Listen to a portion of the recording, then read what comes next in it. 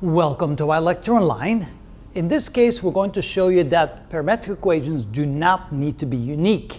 Starting with the equation y equals x squared divided by 8 minus 4, we're going to show you that you can get three different sets, or actually an infinite number of different sets of parametric equations. We're just going to show you three types, three sets, and we're going to have x equals t, x equals 2t, and x equals t minus 1. So you can see you first start out with an equation where x is a function of t, and then you find a corresponding equation where y will be a function of t, and that will then give you the set of parametric equations. So starting with x equals t, we're going to take our equation and replace every x by t, so this becomes y equals t squared divided by 8 minus 4, and this gives you the set of parametric equations when you start with x equals t.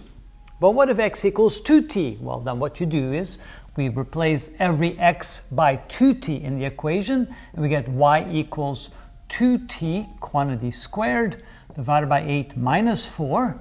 So that means that y equals 4t squared divided by 8 minus 4, or y equals t squared divided by 2 minus 4. So that then pairs up with x equals 2t, and here you can see that this is a different set of parametric equations as the one here we have x equals t.